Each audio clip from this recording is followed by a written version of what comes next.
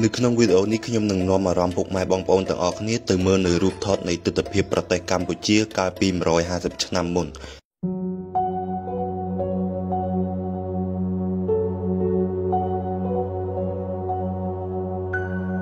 អឺ